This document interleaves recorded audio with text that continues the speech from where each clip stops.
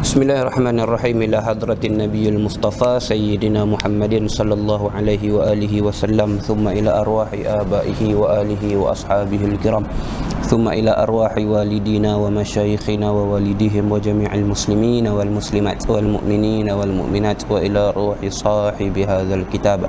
Shay'un lillahi wa lahum al-fatihah a'udzu billahi minasy syaithanir rajim bismillahirrahmanirrahim. الحمد لله رب العالمين الرحمن الرحيم مالك يوم الدين إياك نعبد وإياك نستعين اهدنا الصراط المستقيم صراط الذين أنعمت عليهم غير المغضوب عليهم ولا الضالين آمين بسم الله الرحمن الرحيم الحمد لله رب العالمين حمدا يوافي نعمه ويكافئ مزيده يا ربنا لك الحمد كما ينبغي لجلال وجهك وعظيم سلطانك اللهم صل وسلم على سيدنا محمد محيي النفوس صلاة تسعدنا بها في جميع الدروس وعلى آله وصحبه وبارك وسلم. سبحانك لا علم لنا إلا ما علمتنا إنك أنت العليم الحكيم. ولا حول ولا قوة إلا بالله العلي العظيم. رب اشرح لي صدري ويسر لي أمري. واحلل عقدة من لساني يفقه قولي. اللهم علمنا ما جهلنا وذكرنا ما نسينا. وانفعنا بما علمتنا. وجعلنا من المخلصين. اللهم افتح قلوبنا في طلب العلم وارزقنا الإخلاص فيه والعمل به والنشر به حتى يأتينا اليقين. اللهم افتح قلوبنا فتوح العارف وفقهنا في الدين وعلمنا التأويل وآتنا بفضلك أفضل ما تؤتي عبادك الصالحين. وجعلنا من الذين يستمعون القول فيتبعون أحسنه. ربنا آتنا من لدنك رحمة وهيئ لنا من أمرنا رشدا. وصلى الله وسلم عليه وعلى آله والحمد لله رب العالمين أما بعد.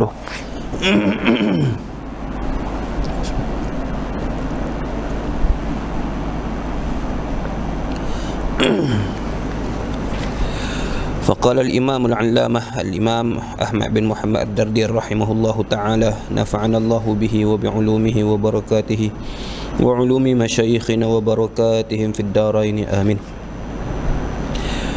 قال ثم اعلما بأن هذا العالم أي ما سوى الله العلي العالم من غير شك حادث مفتقر لأنه قام به التغير حدوثه وجوده بعد العدم وضده هو المسمى بالقدم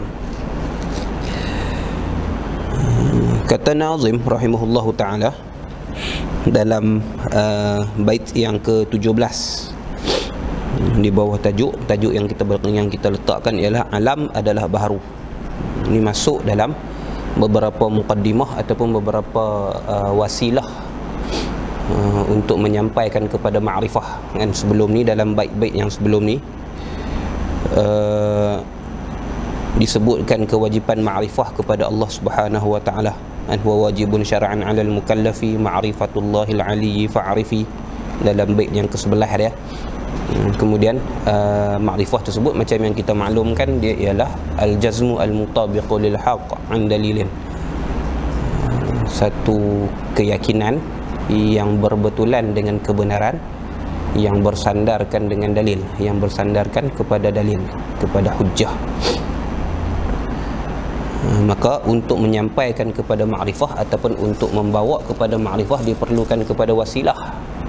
Maka kalau makrifah tu wajib maka perkara yang uh, membolehkan kita makrifah juga wajib. Dipanggil wasail hukmul maqasid. Maksud kita ialah untuk ma'rifatullah.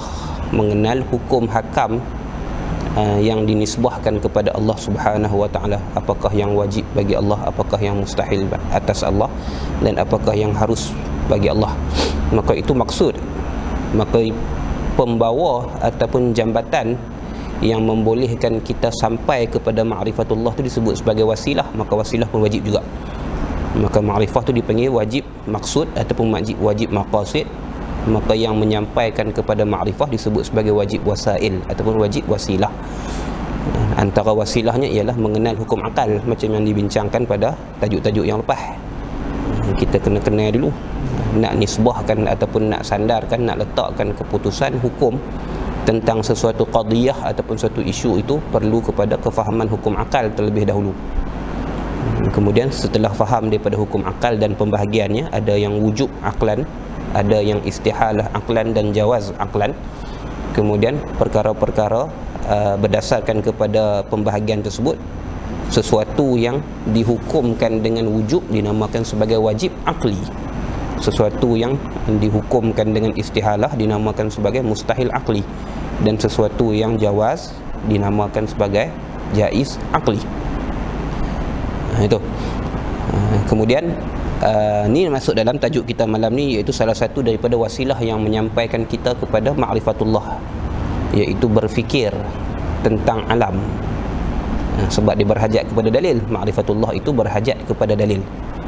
ha, dia an dalilin. Al jazmu al mutabiqu lil haq an dalilin. Maka berhajat kepada dalil.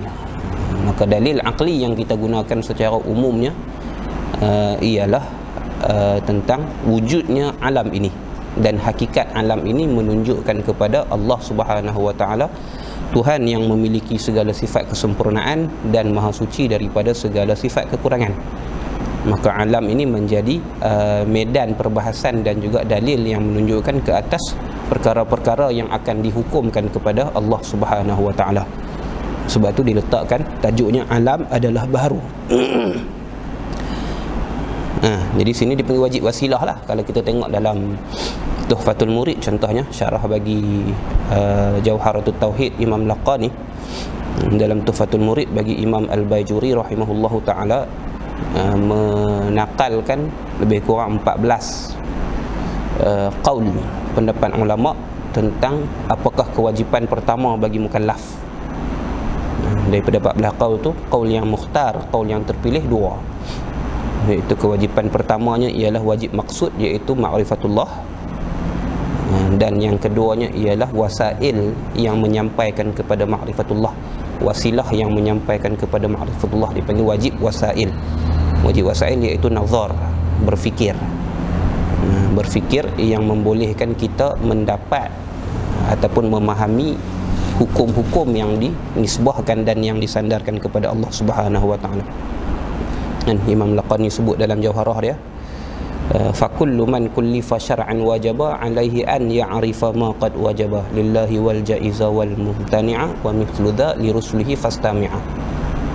Iz kullu man qallada fil tauhid imanuhu lam yardu lam yakhlu min tardidi sampai habis dah. Pada awal matan jawharah tu setiap orang yang ditaklifkan pada syarak wajib ma'rifatullah. Ha, situlah perbahasan dia tengok situ. Perbahasan tentang makrifah tengok di situ. Imam Bayjuri dalam Tuhfatul Muridnya membahaskan dengan panjang lebar dan mendatangkan 14 qaul tentang awwaluddin tu. Kewajipan pertama dalam agama ialah uh, apa? Uh, tu. Jadi sini nak bincang tentang wasilah lah. Nak bincang tentang wajib wasilah. Perkara yang boleh menyampaikan kita kepada ma'rifatullah.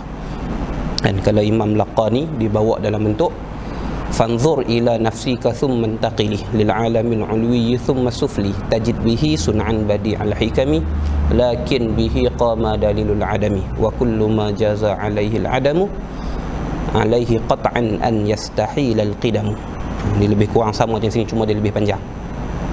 Makna dia lebih kurang sama macam bait yang ke-17 18 dan ke-19 uh, dalam matan uh, kharidah kita. Qala rahimahullah ثم اعلما بأن هذا العالم أي ما سوى الله العلي العالمة kemudian ketahuilah dengan sebenar-benarnya jadi i'laman dengan makna yakinlah lah ilmu dengan makna yakin kemudian yakinlah bi anna hadzal alama bahawa sesungguhnya alam ini apa dia alam ini ai ma siwallahi al-aliyyil alimah makna alam ialah sesuatu selain Allah yang maha tinggi lagi maha mengetahui. Ke situ meletakkan makna bagi alam. Makna bagi alam. Maka berfikirkan tentang alam ni disebut sebagai nazar. Disebutkan sebagai nazar.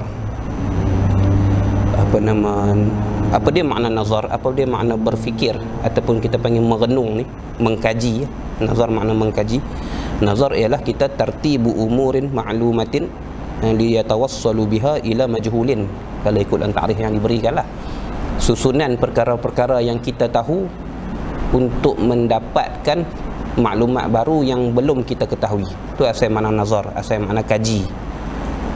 Eh, kita dah ada beberapa maklumat maka maklumat-maklumat tersebut kita susun dengan bentuk yang sahih dan akan menghasilkan natijah sesuatu yang tidak yang belum kita ketahui. Maka sesuatu yang belum kita ketahui itu akan dihasilkan ataupun akan didapatkan dengan nazar yang sahih dengan penilikan dan kajian yang betul. Hmm, contoh macam yang akan sebut bawah ni lah. Hmm, tu. Maka dia juga dinamakan sebagai fikir lah fikir.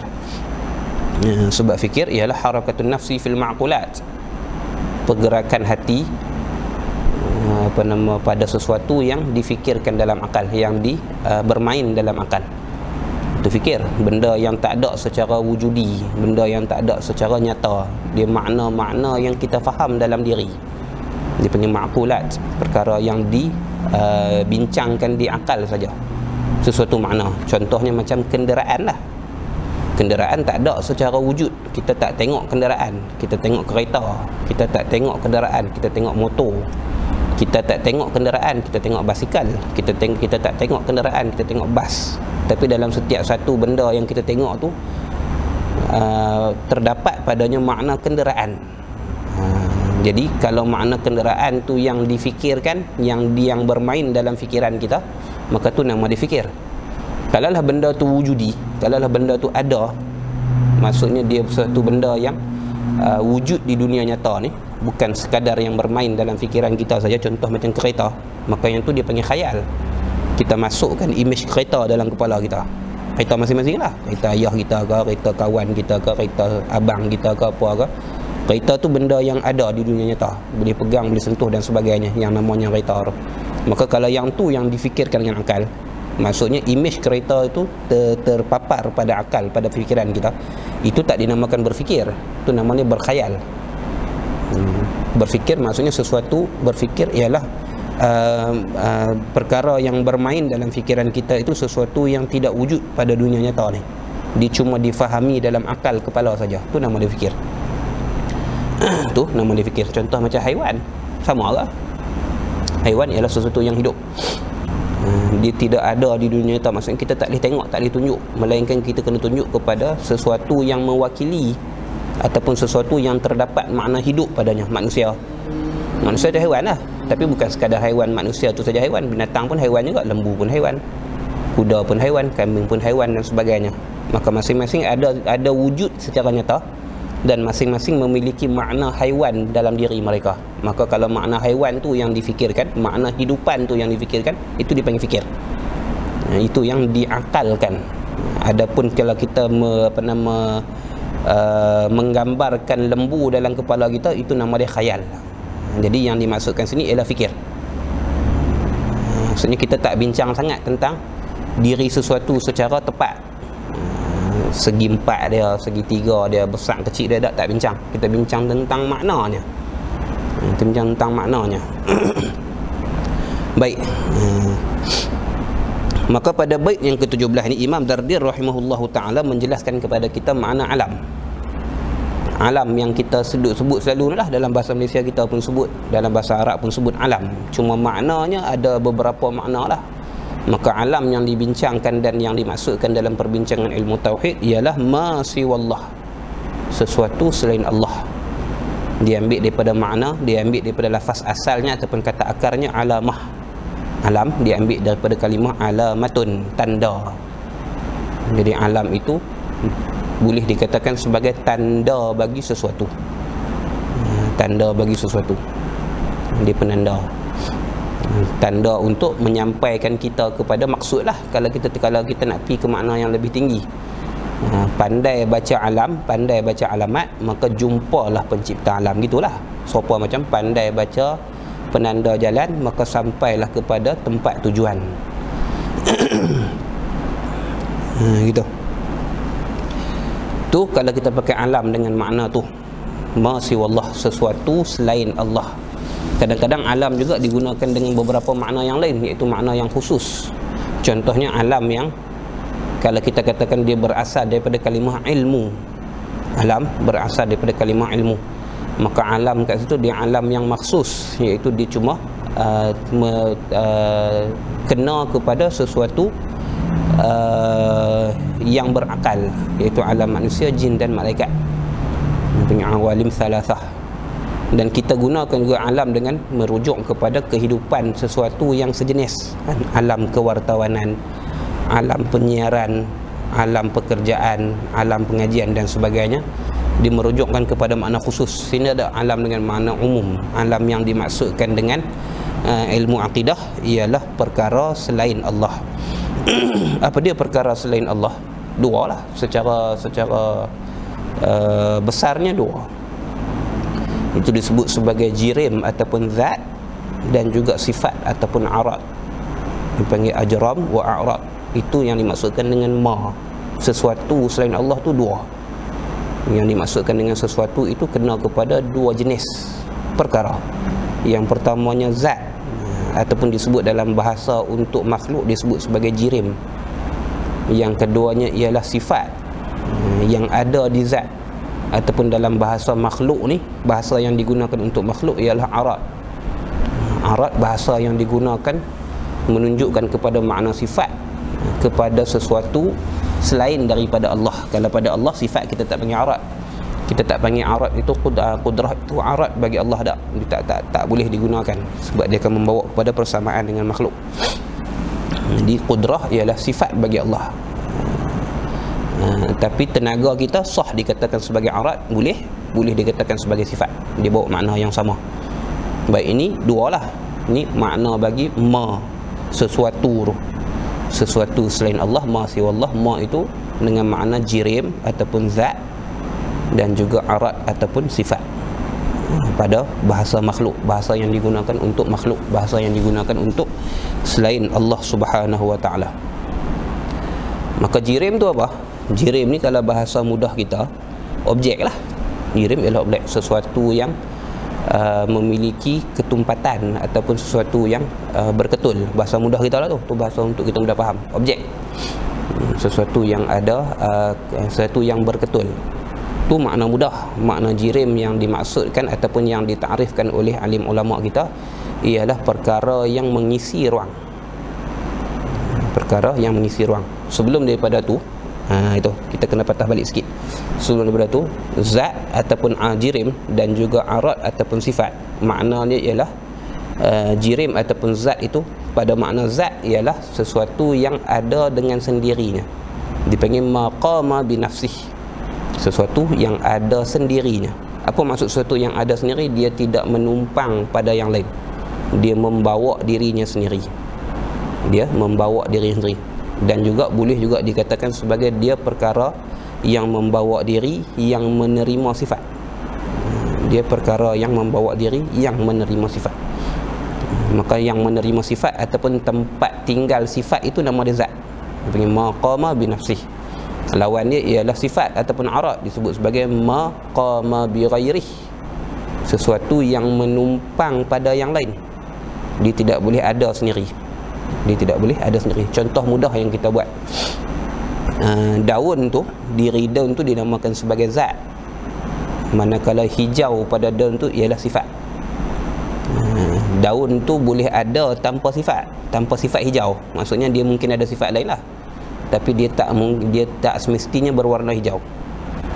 Uh, tapi kalau hijau tu tidak berada pada daun contohnya dan tidak berada pada satu benda yang lain langsung maka hijau tu tak ada hijau tu tidak boleh wujud dengan sendirinya melainkan wujudnya tu wujud pada zat. Itu yang dikatakan sebagai sifat. Wujudnya ialah wujud pada zat. Dia tak boleh ada sendiri. Maksudnya kalau kita pisahkan hijau daripada daun hijau tu akan hilang. Hmm, hijau tu akan hilang. Hijau tu tak mungkin secara berasingan boleh wujud boleh ada dan boleh dicerak. Sekiranya dia tidak menumpang pada zat. Tu asal maknanya tu asal makna zat dengan sifat. Ni bahasa mudahnya lah sebelum kita masuk perbincangan yang lebih jauh. Maka zat sesuatu yang bawa diri dia sendiri. Ha, contohnya macam batu. Ha, dan sifat itu ialah yang menumpang pada batu. Perkara yang dinisbahkan kepada batu. Contohnya macam kerah ha, contohnya macam apa nama besar dan sebagainya. Maka dia disebut sebagai sifat dia tak boleh besar ataupun besar ataupun kerah itu tidak boleh diasingkan daripada batu. Kalau asing tak ada. Kita tak ada satu benda yang namanya kerah melainkan kerah itu sandaran ataupun sifat bagi sesuatu yang lain. Kerah itu batu maka batu tu zat. Kerah itu sifat. Kerah itu contohnya kayu maka kayu tu zat batu tu apa nama kerah itu sifat dan seterusnya. Maka apa nama kefahamannya berbeza. Kefahamannya berbeza maka zat ialah sesuatu yang bawa diri dia sendiri maqama bi ghairi dan sifat ialah sesuatu yang menumpang pada yang lain. Sesuatu yang dinisbahkan ataupun dihukumkan sabit ataupun ada pada yang lain. Maka itu dinamakan sebagai sifat maqamah bi ghairi itu asalnya.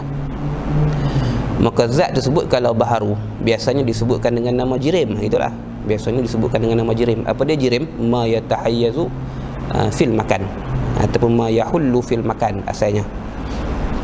Sesuatu yang mengisi ruang. Itu yang dimaksudkan dengan jirim. Zat lah. Sesuatu yang mengisi ruang. Apa makna sesuatu yang mengisi ruang? Sesuatu yang perlukan uh, ruang untuk dia ada. Kalau tak ada ruang maka dia tak boleh ada di situ. Hmm, kalau tak ada ruang maka dia tak boleh ada kat situ. Itu yang dimaksudkan dengan jirim manakala arat ialah sifat yang ada pada jirim tu nama dia arat maka betul ialah kita punya kata tadi arat ialah nama bagi sifat yang baru sifat makhluk. Sebab yang dikatakan jirim itu makhluk. Di benda yang diciptakan benda yang ada isi padu lah kalau bahasa mudah kita ni. Benda yang mengisi ruang. Benda yang mengisi ruang. Dan sifat ialah dan arat ialah sifat yang ada pada jirim tu sifat yang ada pada jirim tersebut dinamakan sebagai arat ni ha, maka jirim dan arat itulah yang disebutkan sebagai ma siwallah sesuatu selain Allah Subhanahu wa taala Ha, dia bukan cerita pasal alam angkasa lepas, alam dunia ada ada bukan yang tu yang dimaksudkan iaitu alam dengan makna khusus. Sini dak sini alam dengan makna umum, alam yang dimaksudkan dalam perbincangan ilmu tauhid ialah jirim dan arad makhluk. Ha, itu. Maka pada jirim ataupun zat itu dia ada beberapa nama lah melihat kepada uh, sudut pandangan yang berbeza. Zat tadi yang bila bila mana kita melihat dia ialah zat yang mengisi ruang maka nama dia jirim. Kalau kita tengok daripada sudut dia ialah sesuatu yang bercantum antara satu dengan lain. Dia benda yang ber apa nama bercantum ataupun benda yang menerima belah bahagi dia benda yang menerima belah bahagi maka dinamakan sebagai jisim. Ataupun disebut sebagai jauhar murakkab. Nama dia jugalah. Jisim pun disebut. Eh, jauhar murakkab pun disebut. Dan sekiranya cantuman itu benda yang mencantum menjadikan dia itu secara berasingan secara satunya disebut sebagai jauhar firid ataupun jauhar saja. Maka ni nama-nama dia melihat kepada sudut pandang yang berbeza nama-nama dia melihat kepada sudut pandang yang berbeza. Zat lah. Maka kita sebagai zat diri kita lah sebagai zat. Kita disebutkan diri kita ni zat ya sebab kita mengisi ruang. Tempat yang kita duduk orang lain tak duduk. Hatta angin pun tak duduk pada tempat yang kita duduk. Angin hanya ada di celah-celah ataupun di tepi uh, saiz kita di tepi kawasan zahir kita. Maka kita nama dia zat. Uh, kita nama dia jirim dan kita sesuatu yang tak menumpang pada benda yang lain maka kita nama dia zat. Kita juga menerima belah bahagi kita boleh dibelah boleh dikecilkan lagi boleh dirincik lagi boleh dikerat lagi boleh diasingkan lagi. Dan kita hasil daripada gabungan beberapa benda. Gabungan daripada tanahnya gabungan, gabungan daripada dagingnya tulangnya darahnya oratnya kulitnya dan sebagainya. Maka kita juga nama dia jisim dan setiap satu yang membentuk kita tu bila kita rincik sampai ke tahap tak boleh rincik dah dia tak menerima rincik. Rincik sampai ke tahap dia tidak menerima rincik. Dia bukanlah gabungan daripada dua perkara yang sejenis dah.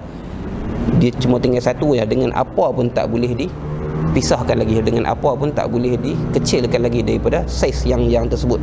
Maka ketika tu nama kita jauhar firid. Jauhar firid. Maka nama-nama tu semua merujuk kepada zat yang baru. Makhluk selain daripada Allah Subhanahu wa taala. Tu belah zat belah sifat mudah faham. Sifat maksudnya sesuatu yang menumpang pada zat sesuatu yang ada pada zat. Eh, kalau belah makhluk selain daripada Allah Subhanahu wa taala dia dinamakan sebagai arat tu untuk kefahaman kita yang pertama.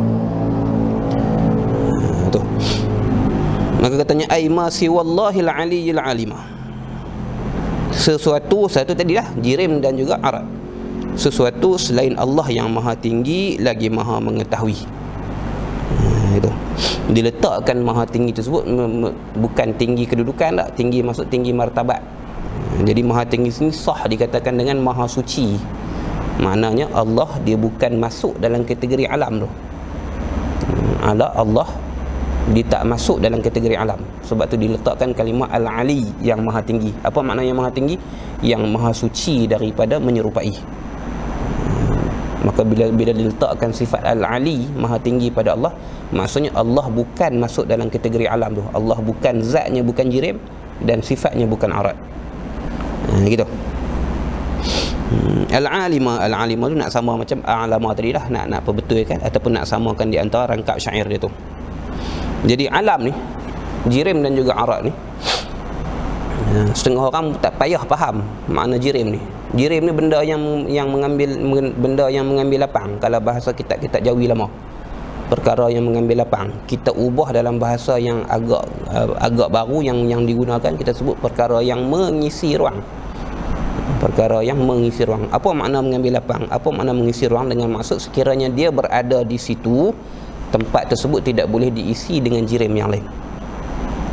Tidak sebelum tersebut tidak boleh diisi dengan jirim yang lain. Sekiranya sebelum itu telah ada jirim di situ maka dia akan dilihat ataupun perkara yang berlaku ialah jirim yang kasar disebut sebagai jirim yang uh, kasif akan menolak jirim yang latif yang lembut yang tak mampu untuk menahan ataupun mempertahankan ruang tersebut maka dia akan diambil dia akan kalah dia akan dia akan mengelak ke tepi.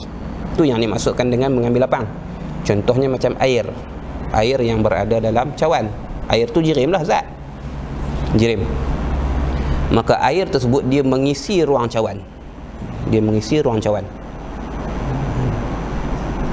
Tiba-tiba dimasukkan sesuatu zat ataupun jirim yang lain ke dalam cawan tersebut maka sekiranya air tu dah memang dah penuh dalam cawan tu hasil yang akan berlaku airnya tu dia akan keluar daripada cawan. Sekadar mana kalau kita buh dengan elok sekadar ruang yang diperlukan oleh jirim yang masuk tu lah.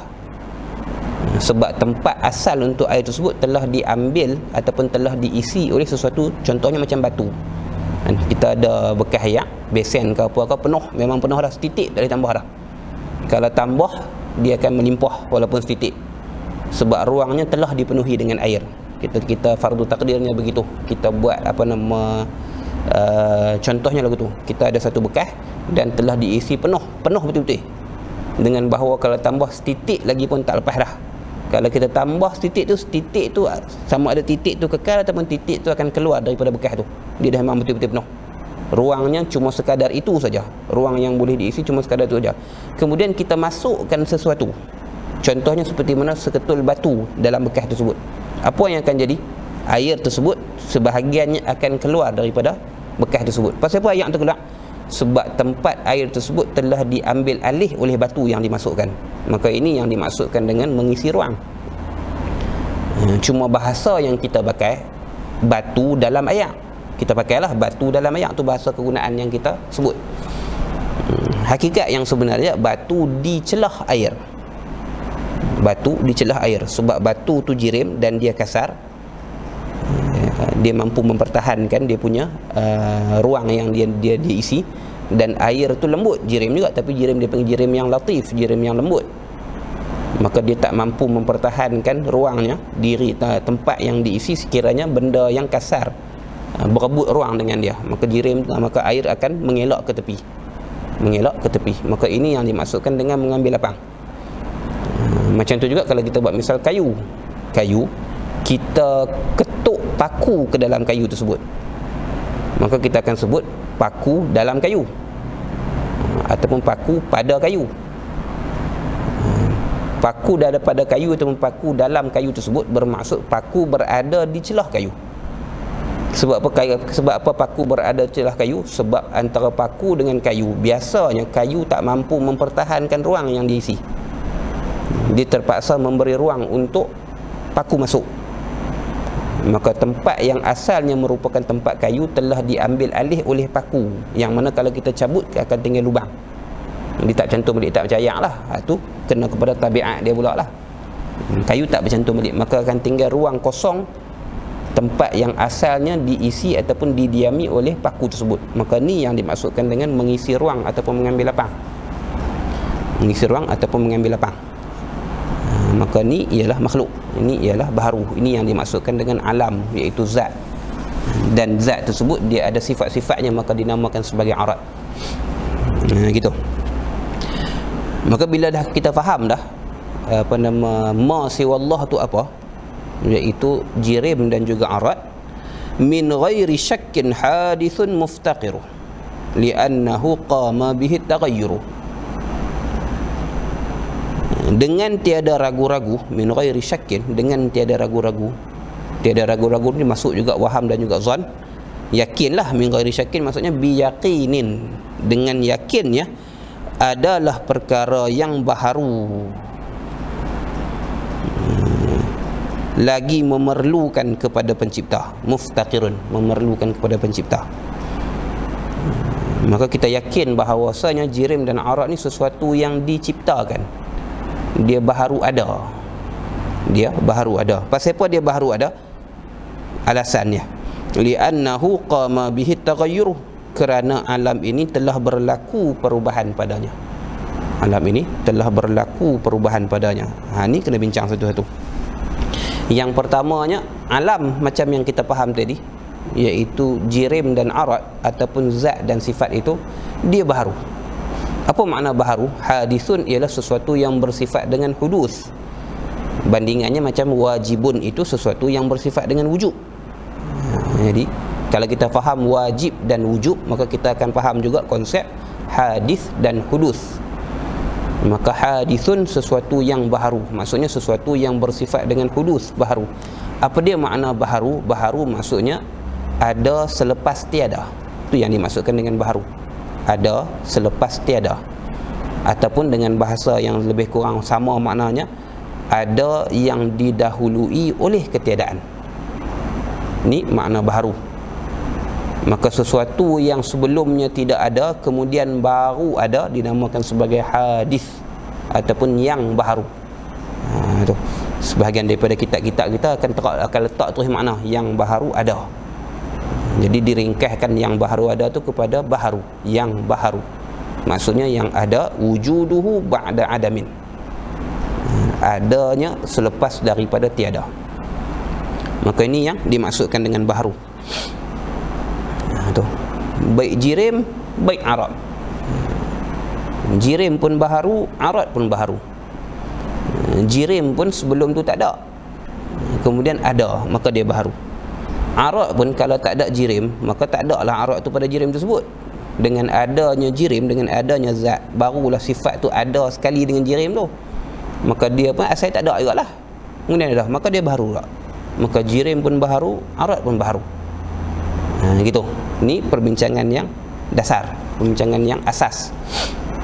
Maka baharu yang dimaksudkan kat sini uh, untuk memudahkan kefahaman bila sebab apa nama menceritakan tentang alam dipanggil baharu yang hakiki. Hadis hakiki ataupun hudus hakiki iaitu uh, al-mawjud ba'da adamin. Yang ada selepas tak ada. Sesuatu yang ada yang didahului oleh ketiadaan contoh mudah bagi kita buat kita lah kita contohnya umur berapa? Umur 30 contohnya. Umur 25 sebelum daripada 25 tahun dulu maka kita tak ada.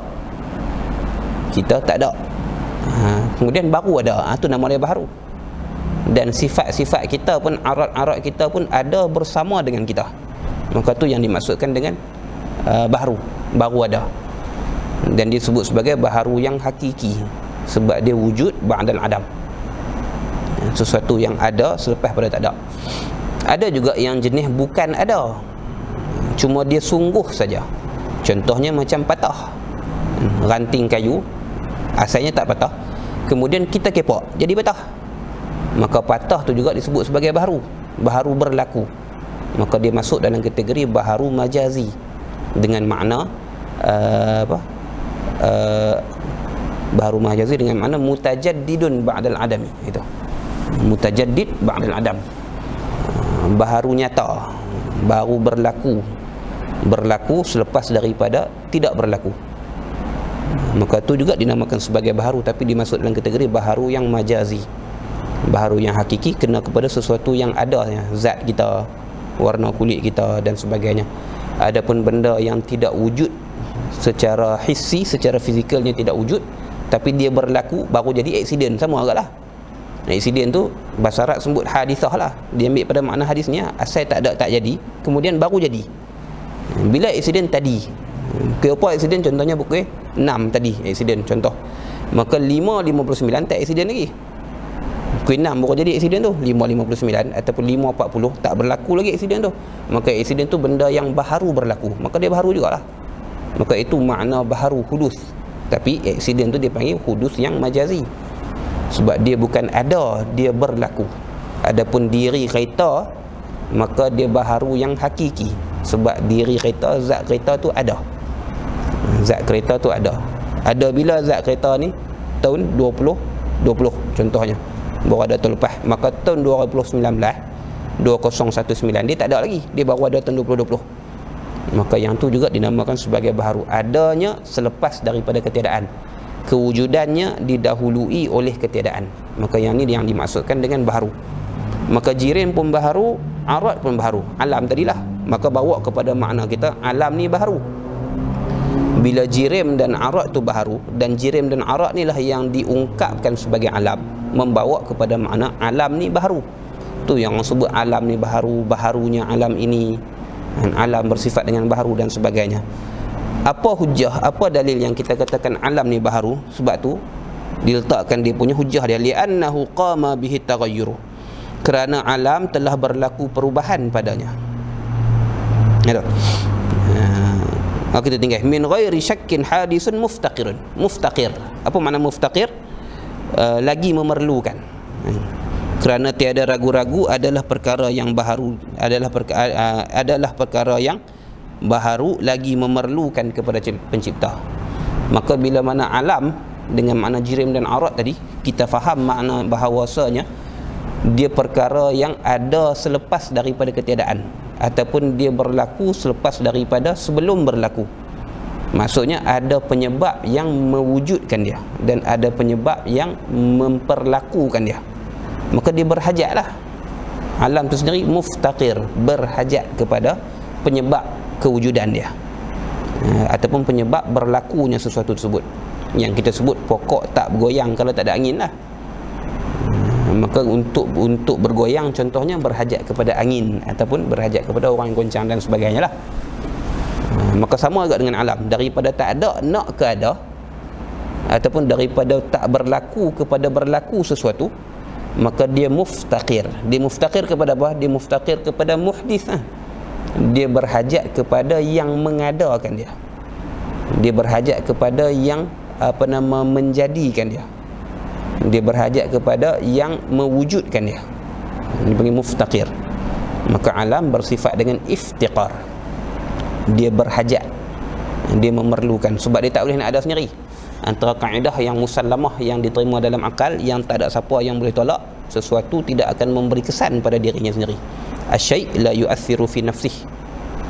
Sesuatu dia tidak boleh memberi kesan pada dirinya. Lagi pula akal kita menolak daripada ketiadaan sesuatu yang tak ada tu tiba-tiba boleh ada dengan sendirinya. Akal kita tolak benda tu. Akal kita tak menerima benda tu. Ya, daripada nothingness daripada ketiadaan tiba-tiba jadi something. Daripada ketiadaan jadi ada. Tanpa ada pengada dia. Maka akal kita tolak. Maksudnya untuk sesuatu yang tak ada menjadi ada diperlukan kepada pengada maka perlu tu sifat bagi baharu lah sifat bagi alam. Maka alam itu muftaqir. Berhajat kepada muhdis. Berhajat kepada pengada dia.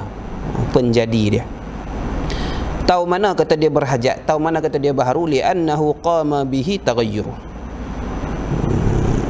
Kerana alam telah berlaku perubahan padanya.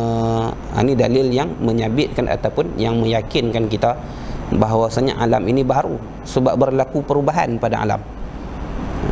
Maksud berlaku perubahan pada alam ni maksudnya menerima berubah apa nama taghayyur dengan maksud jawaz ataupun qabulut taghayyur. Dia menerima berubah.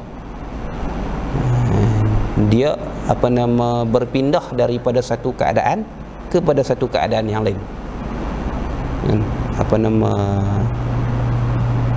ini dalil yang digunakan oleh Nabi Ibrahim alaihissalam kan dalam peristiwa yang yang direkodkan dalam Quran Nabi Ibrahim kata hadza rabbi bintang ni Tuhanku kemudian bulan ni Tuhanku dan matahari itu Tuhanku. Kemudian hilang belaka. Matahari pun hilang terbenam bulan pun hilang dengan tebat siang bintang pun hilang dan sebagainya. Maka dia berubah daripada ada kepada tak ada ataupun daripada satu keadaan kepada keadaan yang lain. Maka berubah daripada satu keadaan kepada keadaan yang lain tu macam yang kita sebut tadi dia takkan berubah dengan sendirinya melainkan ada yang mengubah dia ada yang mengubah dia. Maka berubah itu tanda baharunya sesuatu. Dia pernah berubah maka dia dia keadaan yang sekarang ni tak tak ada satu benda ataupun tak ada satu jaminan yang boleh menjamin bahawa dia kekal dengan keadaan yang sekarang. Maka dia pernah berubah dulu maka sekarang pun dia boleh berubah. Maka berubah itu menjadi dalil atas baharunya alam. Berubah menjadi dalil atas baharunya alam sebab dia menerima perubahan. Walaupun dia tak pernah berubah pada pandangan mata kita tapi dia menerima perubahan. Contohnya macam bukit. Diri bukit tu tak pernah berubah duduk tang tu. Bergerak pun tak berpindah pun tak apa pun tak bukit duduk tang tu. Tapi dia menerima perubahan. Contohnya dengan kita boleh tarah dia. Daripada ketinggian yang kita kata contoh 8000 kaki kita boleh tarah dia jadi uh, kurang uh, kurang sekaki. 7999 kaki. Boleh menerima walaupun kita tak buat betul maka menerima perubahan tu mendali menjadi dalil baharunya alam. Perubahan alam menjadi dalil atas baharunya alam. Sebab yang dikatakan baharu itu ialah sesuatu yang ada selepas daripada tiada ataupun sesuatu yang berlaku selepas daripada dia tidak pernah berlaku ataupun dia tidak dia belum berlaku. Maka bila berubah maka sahlah dikatakan sebagai baharu. Bila sah dikatakan sebagai baharu maka dia berhajat. Maka dia memerlukan. Itu cara susunannya kan? Alam ni berubah. Kita sendirilah sebagai sebagai salah satu contoh alam berubah diri kita. Daripada kecil kepada besar. Kan? daripada kecil kepada besar. Daripada muda kepada tua. Kan? daripada tak tahu sesuatu jadi tahu sesuatu. Daripada tak boleh cakap kepada boleh bercakap. Daripada tak boleh pegang sesuatu kepada boleh pegang sesuatu. Daripada tak ada keupayaan untuk berdiri contohnya ada keupayaan untuk berdiri. Maka tu yang dinamakan sebagai berubah itu yang dimasukkan dengan taghayyur berubah. Hmm. maka perubahan tersebut menjadikan kita barulah. Sebelum ni kita kecil lah kita besar. Hmm. maka kesan besar ni baru jadi lah. Besar ni baru jadi dulu tak ada besar ni. Waktu waktu baru lahir tak ada besar ni. Hmm. besar ni baru ada selepas daripada tu. Lepas daripada lahir tu. Waktu ketika lahir tak ada besar ni. Maka besar tu benda yang baru datang maka baru. Maka diri kita ni baru sebab berlaku perubahan pada diri kita maka bila benda benda maka bila bila kita apa nama sedar ataupun kita pasti bahawasanya kita baharu maka membawa kepada makna yang kedua maka kita berhajat kepada sesuatu. Kita ber, kita memerlukan kepada sesuatu yang membesarkan kita. Kepada sesuatu yang membesarkan kita. Kepada sesuatu yang menuakan kita.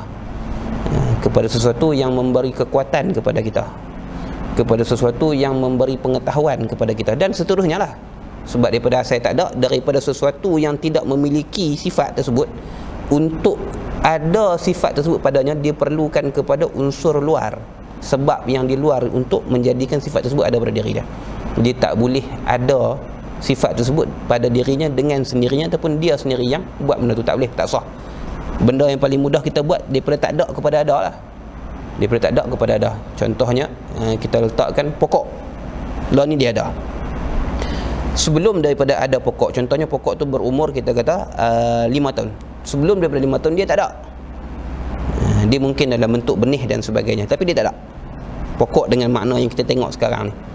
Kemudian apa nama baru ada. Maka dia berubah lah macam tu juga daripada daripada dia sebesar kita kata jari kelingkin membesar jadi sepemeluk maka itu perubahan. Perubahan itu menunjukkan dia baru.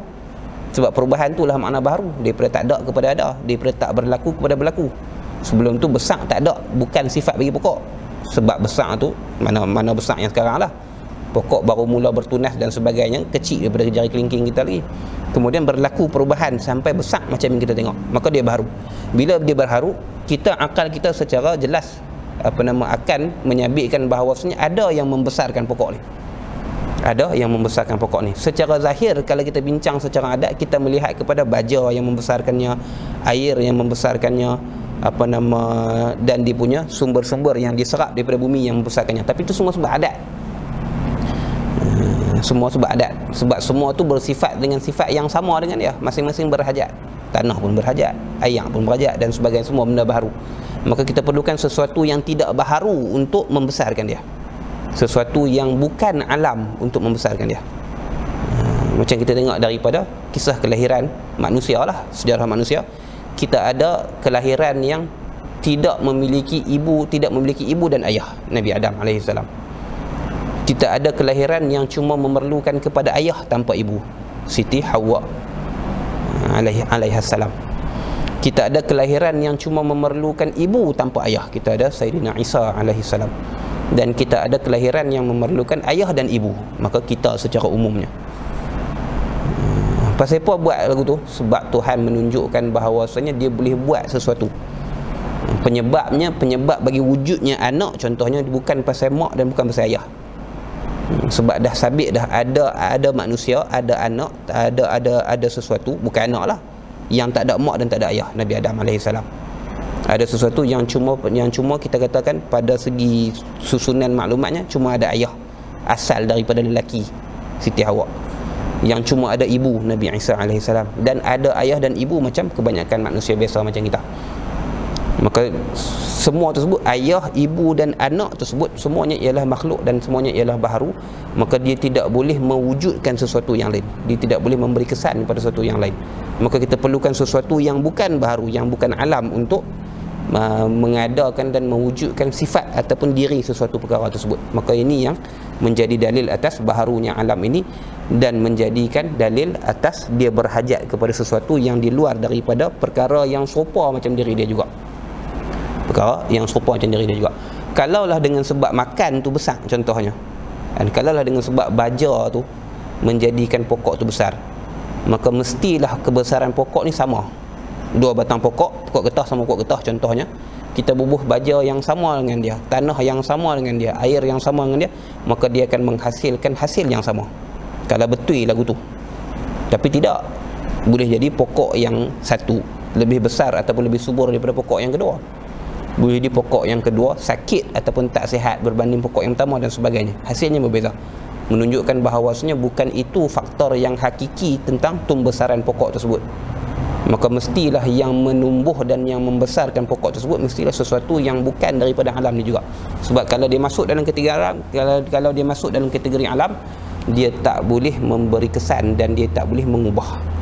Hmm, dia tidak mampu untuk menimbulkan ataupun meletakkan Uh, mewujudkan sesuatu sifat pada zat yang lain. Ini asal perbincangan tentang tagayyur nah, sini dia beritahu makna tagayyur huduthuhu wujuduhu ba'dal adam wa didduhu huwal musamma bil qidam baharunya alam ini baharunya alam itu ialah kewujudannya adanya setelah daripada ketiadaan. Maksudnya didahului oleh ketiadaan. Ada ketiak apa? ketiadaan mendahului adanya. Itu yang dimaksudkan dengan hudus sesuatu yang bersifat dengan hudus dinamakan sebagai hadis yang baru. Maka ni yang kita katakan tadi dia hudus yang hakiki iaitu wujud ba'dal hmm, kadang-kadang dia bukan ada cuma dia sungguh. Maka disebut sebagai tahakkuk ba'dal adam maka dipanggil hudus yang majazi. Contohnya peristiwa-peristiwa yang berlaku bukan daripada kategori, kategori ada lah. Pecah, patah, masak dan sebagainya. Pecah, patah, masak besar, kecil eh, apa nama relai dan sebagainya. Maka dimasuk dalam apa nama tahaqququhu berlakunya ba'dal adam. Selepas daripada yang tu masuk dalam kategori hudus yang majazi. Cuma tak disebutkan kat sini lah sebab untuk memudahkan kefahaman kita. Mudah untuk ditunjukkan ataupun dihuraikan perkara yang ada. Sebab kita boleh khayalkan benda yang ada dan kita boleh uh, ekstrak ataupun kita boleh sedut maklumat daripada benda yang ada tu untuk dijadikan sebagai makna dalam diri. Wadidduhu huwal musamma bil qidam. Dan yang berlawan baginya pula yang bukan hudusuhu ba'dal adam. Maksudnya yang ada tapi tidak didahului oleh ketiadaan. Adalah yang bernama sedia kala hmm. Maka zat yang bersifat dengan sedia kala disebut sebagai zat yang qadim. Zat yang bersifat dengan hudus nama dia zat yang hadis. Zat yang bersifat dengan qidam nama dia zat yang qadim. Itu.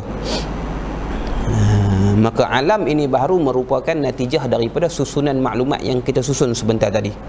Iaitu alam ini jirim dan arad itu berubah-ubah ini antara qadiyah yang masyhur yang digunakan bagi orang yang biasa belajar ilmu tauhid. Al-alamu mutaghayyirun. Alam tu baru. Pasal baru? Dengan dalil tadi pasal dia berubah. Al-alamu mutaghayyirun. Alam ini berubah-ubah. Kita tengok perubahannya.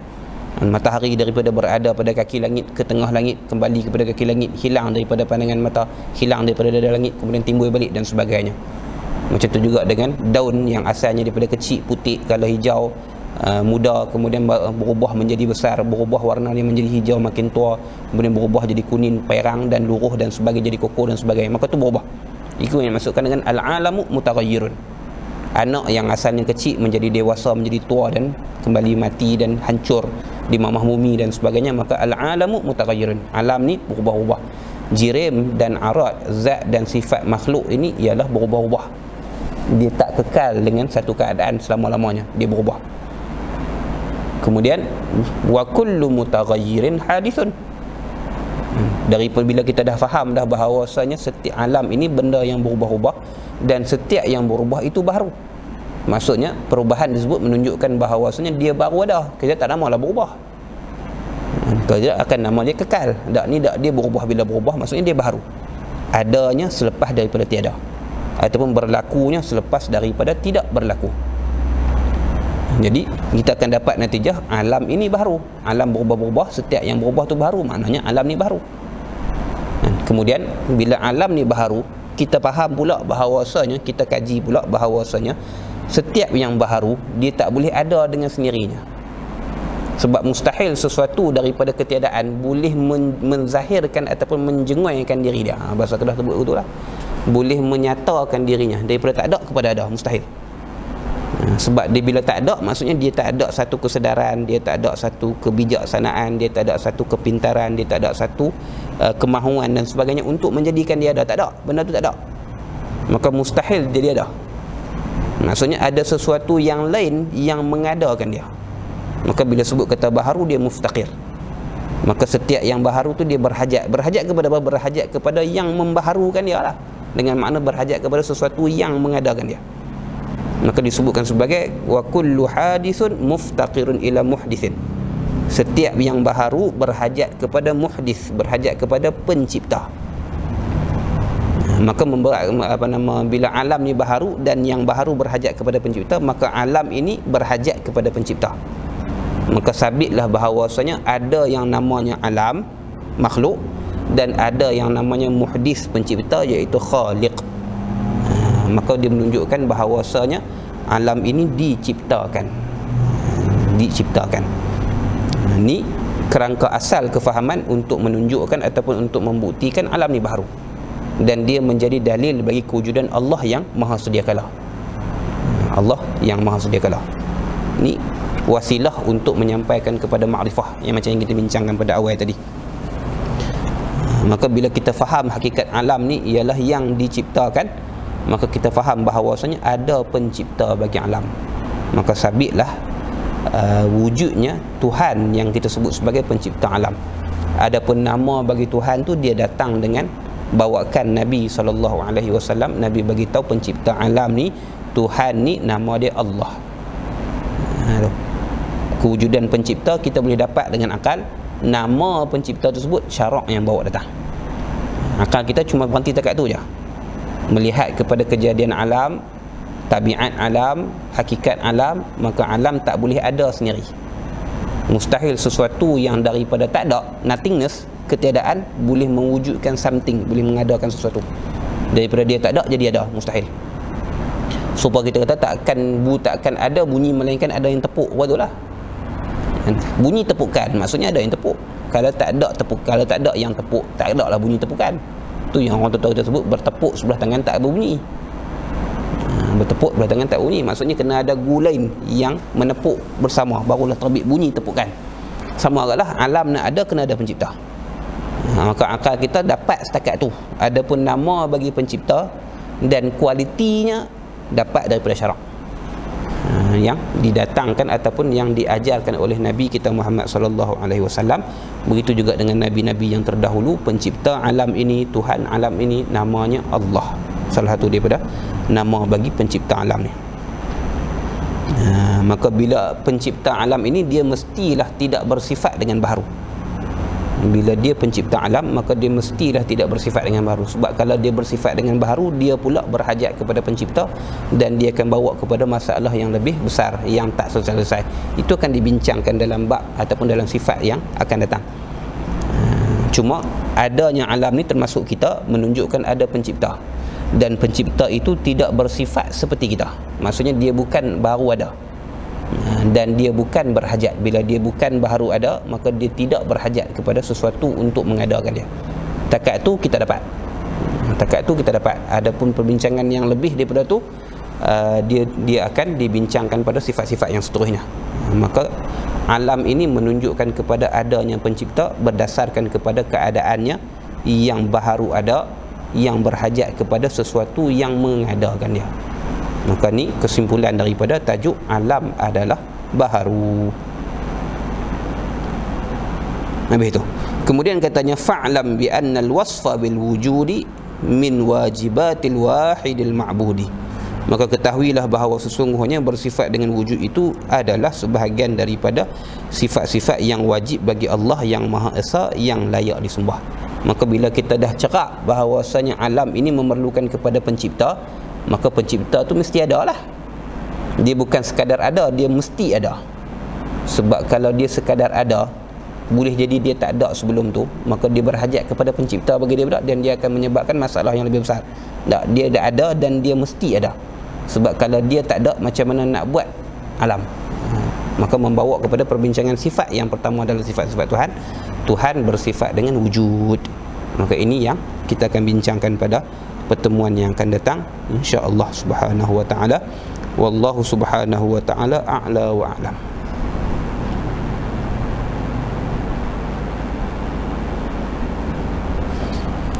Ya.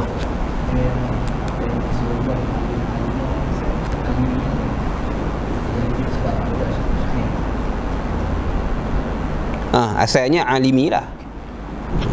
Kemudian dibacakan dengan alimah untuk menyamakan antara alama dengan alima asalnya alimi ya asalnya alimi cuma untuk menjaga syair untuk menjaga susunannya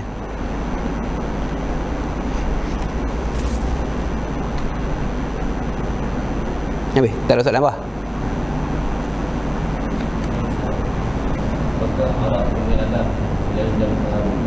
Apakah? arat bagi alam selain daripada baharu soalan tu kurang tepat soalan tu kurang tepat. Apakah arat bagi alam selain daripada baharu sebab yang dikatakan arat itu ialah alam. Kan kita bincang tadi alam tu ialah ma siwallah perkara selain Allah. Perkara tersebut pecah dua lah. Sama ada dia dia zat dia jirim ataupun dia arat maka soalan yang patut ditanya apakah apa nama uh, ciri bagi alam lah. Ciri bagi alam termasuk sebab yang kata alam tu masuk juga dengan arat uh, selain daripada baru. Dia boleh dibetulkan lah soalan tu dan kita, kita faham lah soalan tu. Selain dia baru apa lagi? Tengok pada jenis dia. Kan contohnya macam yang kita sebut tadi bila kata dia jirim antara dia punya benda yang mesti ada pada dia lagi disebut sebagai lawazim. Dalam dalam syarah uh, jauh dalam syarah Imam Laqani dalam syarah Jawharatul Tauhid disebut sebagai lawazim bagi jirim dan lawazim bagi arat ada beberapa lawazim ada beberapa perkara yang mesti uh, sabit pada jirim dan ada beberapa perkara yang mesti sabit pada arat maka contoh perkara yang sabit bagi jirim ni contohnya dia mesti dia mesti mengisi ruang. Dia memerlukan lapang macam kita bincang tadi. Takkan wujud jirim melainkan dia berada pada satu tempat. Yang sebut kata jirim dia mesti bertempat. Dia panggil hulul fil makan ataupun tahayyuz makan. Kalau setengah dalam bahasa kita disebut tahayyuz makan. Dia mesti mengisi ruang. Tu antara lawazim ataupun benda yang mesti sebagai ciri yang ciri yang pasti ada pada ataupun sifat yang pasti ada pada jirim. Antaranya lagi dia mesti bersifat. Tak ada jirim yang kosong daripada, daripada sebarang sifat. Tak ada zat yang kosong daripada sebarang sifat. Yang katakan jirim yang katakan zat dia mesti bersifat. Tu sifat dia lagi. Selain daripada baharu. Tu contoh-contohnya antaranya lagi dia bersifat sama ada dengan gerak ataupun diam. Dia mesti bersifat sama ada dengan gerak ataupun diam. Gerak dan diam tu tak mesti ada pada dia secara tepat. Maksudnya dia tak mesti diam dan dia tak mesti gerak tapi dia mesti menerima gerak dan diam. Tu benda yang uh, sifat yang lazim bagi jirim. Dia sama ada gerak ataupun diam tak kisah. Dia bergerak pun tak apa dia diam tak apa tapi dia mesti menerima gerak dan diam walaupun dia tak pernah gerak tapi dia walaupun dia sentiasa diam tak pernah langsung gerak tapi dia menerima gerak. Walaupun dia sentiasa bergerak tak pernah diam tapi dia menerima diam. Maka menerima gerak dan diam tu merupakan lawazim bagi jirim. Macam tu juga dengan arat antara ciri-cirinya antara lawazimnya antara sifat ataupun perkara-perkara yang sabit pada arat antaranya dia mesti ada pada jirim. Satu yang keduanya dia mesti apa nama baharu dua sebab dia ada bersama dengan jirim yang baharu mustahil sifat ada secara bersendirian sebelum adanya pada yang ada adanya pada zat maka dia mesti baharu juga. Maka dia mesti bersifat dengan uh, dia mestilah uh, berada pada uh, jirim. Dia tak boleh membawa dirinya sendiri. Faham daripada makna sifat macam yang kita bincangkan pada awal tadi. Dan dia mestilah baharu sebab dia ada pada zat yang baharu mustahil zat uh, sifat telah ada dahulu baru jirim ada. Kemudian sifat tersebut pergi ke jirim dan menumpang itu tak mustahil lagu tu akal kita tak menerimanya. Akal kita tak menerimanya. Tu antara contoh-contoh ciri-ciri ataupun sifat-sifat yang ada pada alam.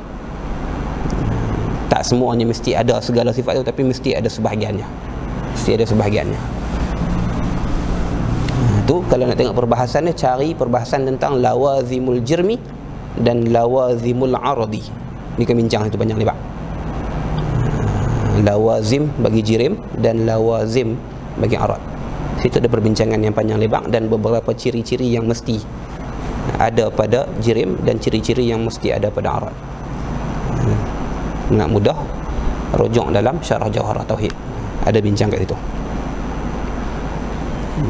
Wallahu alam. Ada subhanakallahumma wa bihamdika asyhadu an la ilaha illa anta astaghfiruka wa atubu ilaik اللهم صل أفضل صلاة على أسعد المخلوقات كسيدنا محمد وعلى آله وصحبه وسلم عدد معلوماتك ومداد كلماتك كلما ذكرك الذاكرون وغفل عن ذكرك الغافلون.